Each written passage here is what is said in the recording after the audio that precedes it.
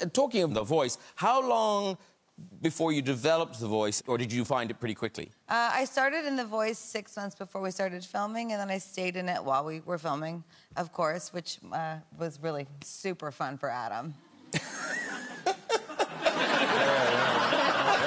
yeah, I made him deal with that every fucking day. uh, but you know, I actually. Still doing it.